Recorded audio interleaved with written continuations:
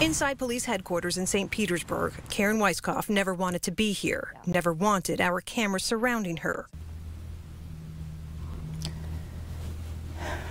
Or reporters speaking with her. And here we are. Here we are.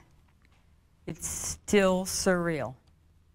It's been 21 days since you lost your husband to COVID 19. Correct.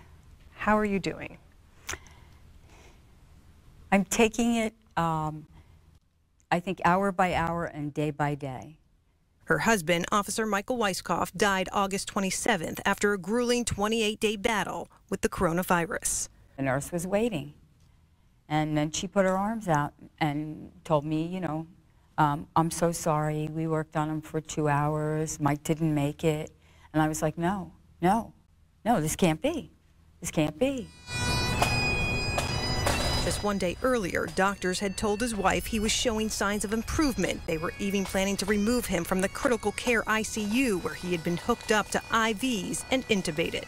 My purpose is to never ever see anyone go through what he went through, the pain. There wasn't one day, one hour, one moment that he didn't suffer. Mike's name now added to the growing list of men and women in uniform who died from COVID and were unvaccinated when they got infected. It did not have to happen. More than 650 officers nationwide have now succumbed to coronavirus, according to the Fraternal Order of Police, which tracks reported deaths. Florida among the states having lost the most officers, second only to Texas.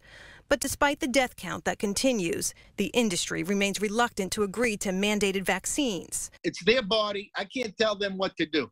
To date, a small handful of Florida cities and counties have approved vaccine mandates, though most law enforcement aren't included because unions won't support it. We don't like being uh, mandated or, and pushed into anything like that. And this week, the governor announced he would fine local governments who did mandate shots. You're out there dealing with the public and looking what we're going through. It's approved. Why would we not?